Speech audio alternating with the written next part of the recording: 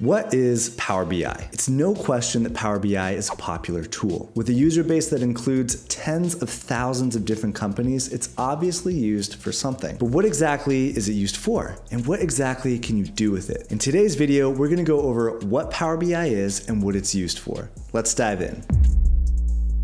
Power BI is Microsoft's self-service business intelligence reporting tool. You use it to take your data, transform it, and create insights. It's essentially used in two ways. One is developing reports, which is taking the data and creating the analytics. And number two is using reports, which is taking those reports as a business leader to inform decision making. In a little bit, I'm going to share about all the different ways that you can share reports within your organization using the Power BI service platform. But first, let's talk talk about developing reports. The development of reports is primarily done through the Power BI desktop platform. This is a downloadable application available through Windows. For Mac users, you can't directly install Power BI desktop, but there are some legitimate external applications that you can download to run Power BI on your Mac. I'll have a video linked in the description that I made on how to do this. Once you have Power BI Desktop installed, you can begin connecting your data to start creating reports. Power BI can connect to a ton of different data sources, including Excel, Snowflake, SQL databases, cloud services, even APIs. You can connect data from just about anywhere. Once your data is connected, Power BI uses Power Query to manipulate and transform your data. Power Query is built into the Power BI platform, so it's easy to use. Power BI is also native to Excel, so if you're an Excel user, the transition should be pretty easy. Beyond that, you can start to model your data. You can do this by connecting tables, creating tables, creating custom measures, as well as hiding fields from the report view. There's a lot you can do with the modeling features alone in Power BI, so I'm not going to get too deep into it,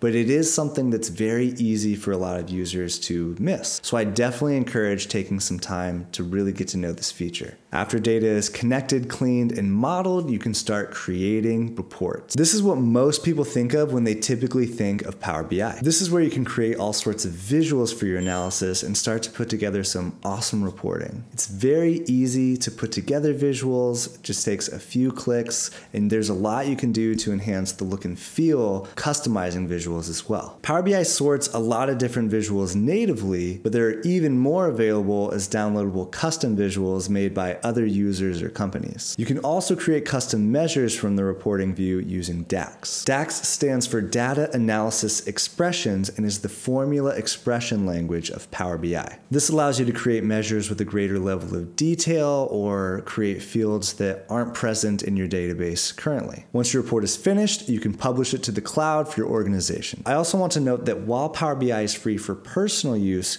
you will, at the organizational level, need users to have a pro license to share within your organization. I won't get into the details here, but a common misconception I often hear from users new to Power BI is that it's completely free. Again, it is free to download and publish to your personal workspace, but you do need a pro license to share at the organizational level. Speaking of workspaces, let's talk about the Power BI service. The Power BI service is where users can go to view reports. You can create workspaces. This is where you can publish your data and your reports to. You can also manage access that users have to workspaces. Within workspaces, you can also create apps, which essentially give you more control over what you allow your users to see. From apps and reports, you can also save visuals to a personal view, which is what Power BI calls a dashboard. This is different language than what some other tools refer to as a dashboard, which is what Power BI just calls a report. Published reports can be shared in many different ways. You can embed them to a PowerPoint or a website. You can connect them to Microsoft Teams, to Excel. You can also set up reports to have a mobile view, which are customized for mobile if that's something you're looking for. Power BI reports can also be set up for automatic refreshes from the Power BI service. This is a great way to control how regularly you want your reports to be updated. With so many sharing capabilities, security within an organization is important. Power BI can define who has access and to what. This is especially helpful for large organizations with sensitive data in a lot of different departments. It's worth noting too that Power BI Desktop is updated monthly, so there's always new features and updates being added to the tool. Lastly, let's talk about next steps. Where can you go if you're interested in learning more about how to use and implement Power BI. Microsoft actually has a ton of learning modules which are actually pretty helpful. They're text-based courses, so no video, but many of them actually have built-in labs which are really helpful. Before I ever dived into Microsoft's modules that they offer for learning, I didn't think they were going to be really good, but they actually are very helpful and go really deep into the tool. I'll put a link to these in the description below. I'll also link one of my favorite Power BI courses on Udemy taught by Maven Analytics. I definitely recommend this one for users who want to know how to use Power BI for report development. Thanks for watching. I hope this video was a helpful overview of what Power BI is and what it's used for. If you did enjoy the video, feel free to like and subscribe, and I'll see you in the next one.